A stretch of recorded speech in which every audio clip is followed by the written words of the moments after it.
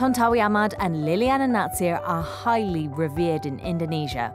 Their gold medals at the Rio 2016 Olympics completed an incredible resume that already boasts one World Championship title, a hat trick of All England crowns, and over a dozen Super Series triumphs. The Indonesian mixed doubles pair are role models for their younger compatriots aspiring to follow in their footsteps. Plotting their way to success are Indonesia Masters champions Ronald Alexander and Melati Daeva Oktavianti, and the duo couldn't have had better mentors than their national heroes. Everyone knows about their success, especially the recent victory at the Olympics. Anyone who follows badminton knows that the highest you can achieve is at the Olympics. Every player wants to reach that height. Their achievements are an inspiration for juniors like us. It gives us focus during training because when we train with them, we understand that this is the standard of a three-time All-England champion. They are truly our source of motivation. Prestasi mereka itu jadi motivasi kita.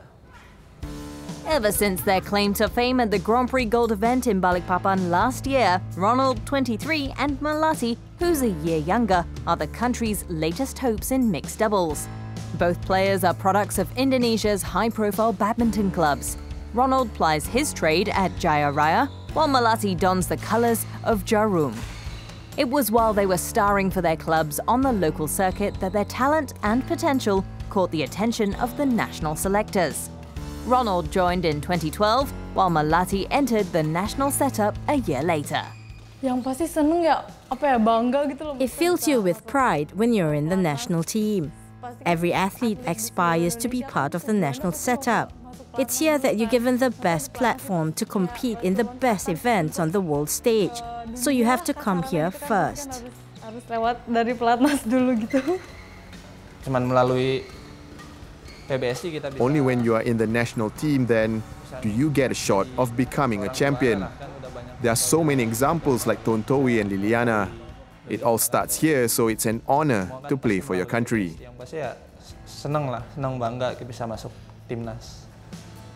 Melati began life at the National Training Centre in some style, clinching the 2012 BWF World Junior Championships crown with Edi Subaktiar. Ronald, on the other hand, competed in men's doubles before national coaches decided in 2014 that a Ronald Melati partnership was the best way forward for the players entering into the senior squad. Initially, it was difficult. First was the communication between us, because as partners, we needed to understand each other well. And there was also the rotation on court, that's so important in doubles. In the early days, it was tough trying to figure out the right movements. But now, it's easy as we've been playing together for some time.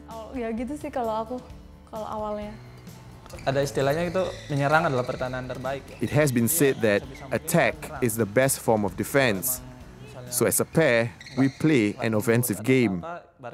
But if that's not working out, we'll try other tactics. Naturally, we are an attacking pair. In their debut year, Ronald and Melati tasted success at the Indonesia International Challenge and followed up with a Grand Prix victory at the 2015 Chinese Taipei Masters. The run of title wins was a patient build-up to their latest triumph at the Indonesia Masters last year. Having worked their way to the last 16, the duo knew they needed to seize their moment. We were trailing 11-14 in the first game, but we slowly worked our way up and eventually won. That was when I thought to myself that this could be our moment. In the semi-final, we were up against our teammates. We knew how they would approach the match since we trained together, but it was after the quarter-final match that I saw our chance. I agree, that was our opportunity. After that, we were very comfortable with our performances. We had to grab our chance in the semi final against our teammates. We couldn't waste it. In the final, we didn't want to put pressure on ourselves. We just went all out. Thank God we won. That win gave us a platform to target our next title. In our career, We've won an international challenge, a Grand Prix, and a Grand Prix Gold. So for the next one, we're looking to win the next big one. That's the Super Series event.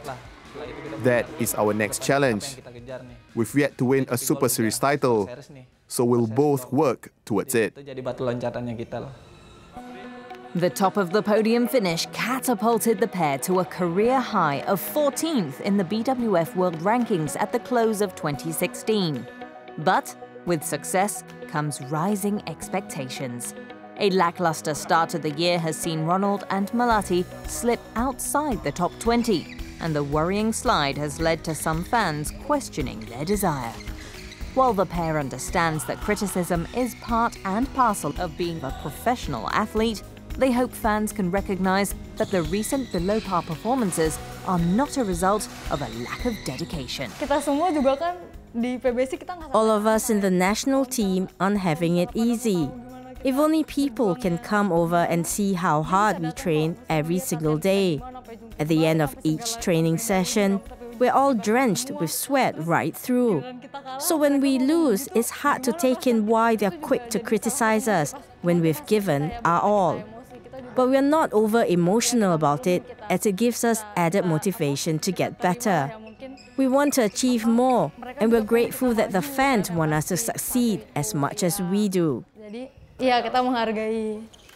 It will take a lot more to derail the ambitions of the world number 28 duo as they direct their efforts towards the upcoming regional multi-sport event to be held in Malaysia. Looking ahead, the SEA Games will be our next focus. Our coaches already told us that they want us to win it, so it has become our personal target. But at the moment, we have four pairs looking to be selected to compete, but nothing has been decided by the coaches. But if we do get selected, the SEA Games goal will be our ambition. Ronald Alexander and Melati Daeva Oktavianti will only get stronger from their experiences. And that can only be a good thing for Indonesia badminton.